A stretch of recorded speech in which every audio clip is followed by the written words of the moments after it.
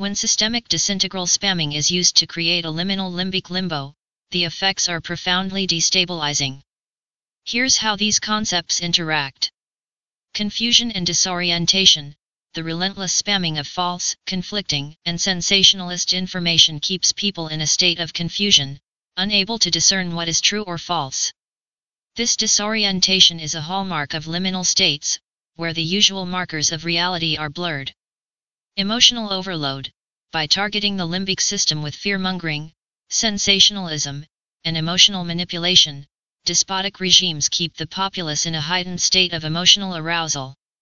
This constant emotional bombardment prevents rational thinking and creates a sense of perpetual crisis. Perpetual transition. In this state of liminal limbo, individuals and societies are kept in a constant state of flux. There is no clear resolution or stability, only a continuous cycle of change and uncertainty. This prevents the formation of coherent resistance movements and maintains the regime's control. Erosion of trust. Systemic disintegral spamming erodes trust in institutions, media, and even personal relationships. When people cannot trust the information they receive, they become isolated and more dependent on the regime for a semblance of order and truth.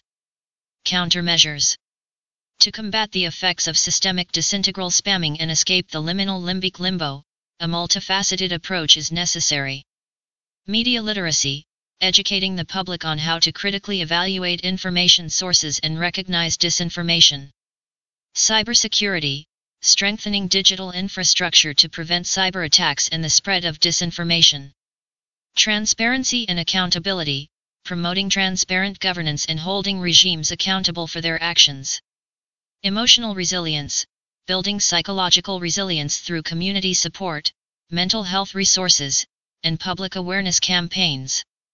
By understanding and addressing the mechanisms of systemic disintegral spamming and its psychological impacts, societies can better protect themselves from the manipulative tactics of despotic regimes and work towards a more stable and informed future.